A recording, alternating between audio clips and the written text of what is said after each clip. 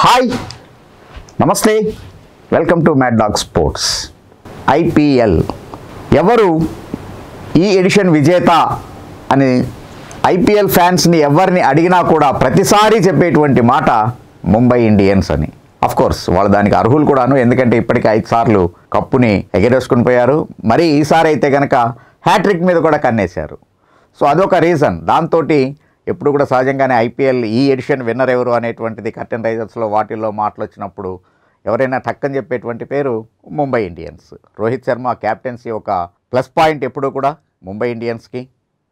అలాగనే ఆ జట్టుని one to one కనుక చూసుకుంటూ వచ్చేట్లయితే బెంచ్ స్ట్రెంగ్త్ తోటి కలిపి అందరూ కూడా ప్రతిరోజు పదకొండులో ఫిట్ అవ్వగలిగినటువంటి నేర్పున్నటువంటి వాళ్ళే. పాండ్యా బ్రదర్స్ కావచ్చు Rohit Sharma of course Suryakumar Yadav Ishan Kishan you take any name even Trent Boult వాళ్ళకి ఒక మంచి ఇది బుమ్రా. అఫ్ కోర్స్ అంటే మలింగా లేకపోయినా కూడా లాస్ట్ ఇయర్ అయితే మాత్రం ఆ లోట్ని కనబడనీయకుండా Trent Boult second highest wicket taker of course Bumrah is the purple cap holder so కాబట్టి అంటే లాస్ట్ ఎడిషన్లో ఐపీఎల్లో అత్యధిక వికెట్లు తీసుకున్నటువంటి ఇద్దరు బౌలర్లు ఆ జట్టులో ఉండటం అనేటువంటిది ఎంత ప్రత్యేకమైనటువంటిదో మనం ప్రత్యేకించి చెప్పక్కర్లేదు. సో అలాంటి బౌలింగ్ వనరులు ఉన్నటువంటి జట్టు అలాగనే బ్యాటింగ్లో మంచి డెప్త్ ఉన్నటువంటి జట్టు మరీ ముఖ్యంగా ఫీల్డింగ్లో కూడా. పొలార్డ్ని దాటి బంతిని బయటికి కొట్టాలి అనేటువంటిది దాదాపు ప్రత్యర్థిలో జట్టులో ఉండేటువంటి ఏ బ్యాట్స్మెన్కి కూడా సాధ్యమయ్యేటువంటి పరిస్థితి కాదు. హార్దిక్ పాండ్యా చాలా చక్కటి ఆల్రౌండర్ ఫామ్లోకి వచ్చాడు ఇంగ్లాండ్ సిరీస్ తోటి.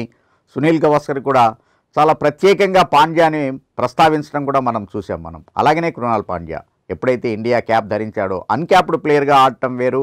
క్యాప్డ్ ప్లేయర్ వచ్చిన తర్వాత ఒక ఆటగాడికి వచ్చేటువంటి కాన్ఫిడెన్స్ వేరు. సో కృణాల్ పాండ్యాలో చూసాం. మొదటి వన్డేలోనే అర్ధ సెంచరీ సాధించి ముప్పై సంవత్సరాల తర్వాత మళ్ళా ఒక కొత్త రికార్డ్ని క్రియేట్ చేశాడు. ఎప్పుడో నైన్టీన్ నైంటీలో అదే ఇంగ్లాండ్కి వి- విరుద్ధంగా న్యూజిలాండ్ ఆటగాడు ముప్పై ఆరు బంతుల్లో యాభై పరుగులు చేస్తే కేవలం ట్వంటీ సిక్స్ బాల్స్లోనే ఫిఫ్టీ రన్స్ చేసి కృణాల్ పాండ్యా ఒక కొత్త రికార్డ్ని క్రియేట్ చేయగలిగాడు. సో కాబట్టి ఆ కాన్ఫిడెన్స్ ఎలాగూ ఉంటుంది అతనికి.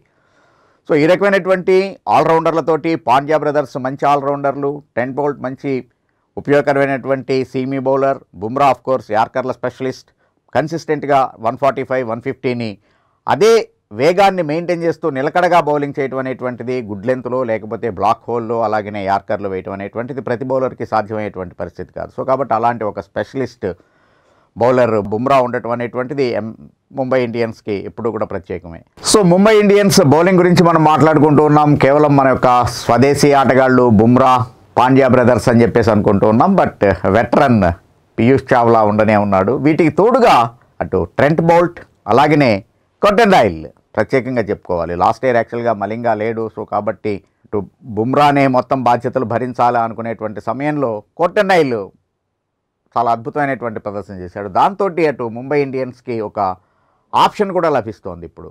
ఎట్లా అయితే కనుక బీసీసీఐ బుమ్రా సేవల్ని చాలా సెలెక్టివ్గా వాడుకుంటూ వస్తోంది సిరీస్ సిరీస్కి సెలెక్ట్ చేసుకుంటూ అతన్ని తీసుకుంటోంది. ఎందుకంటే బుమ్రా లాంటి ఆటగాడు చాలా చాలా జాగ్రత్తగా చూసుకోవాలి అనేటువంటిది అందరికీ తెలిసినటువంటిది. సో ఆ కారణంలో ముంబై ఇండియన్స్ కూడా ప్లే ఆఫ్లో కనుక ప్లే ఆఫ్ సమయానికి బుమ్రాని ఎక్కువగా వాడుకోవాల్సి వస్తుంది కాబట్టి లీగ్ ఫేస్లో బుమ్రాకి వీళ్ళంత రెస్ట్ ఇద్దాము అనేటువంటి ఆలోచన చేసినా కూడా వాళ్ళకి ఎటువంటి ఇబ్బంది లేకుండా కొట్టన్నాయిల రూపంలో బౌలర్ ఉండటం అనేటువంటిది మరొక అడ్వాంటేజ్ ముంబై ఇండియన్స్కి. అసలు ఇంకా మాట్లాడితే కనుక అసలు రోహిత్ శర్మకి ఎవరు ఓపెనర్ ఇప్పుడు అనేటువంటిది ఒక పెద్ద చర్చ అవుతోంది. ఎందుకంటే సూర్యకుమార్ యాదవ్ని తీసుకోవాలా లేకపోతే ఇషాన్ కిషన్ని తీసుకోవాలా అనేటువంటిది.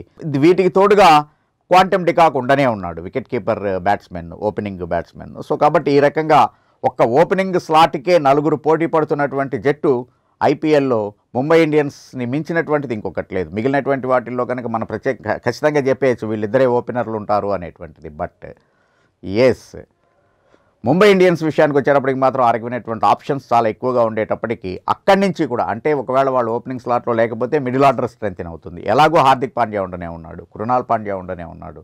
సో కాబట్టి ఈ రకంగా నెంబర్ ఎయిట్ దాకా మంచి బ్యాటింగ్ డెప్త్ అలాగనే ముగ్గురు ఆల్రౌండర్లతో కూడుకున్నటువంటి జట్టు కాబట్టి ముంబై ఇండియన్స్ చెప్పలేం.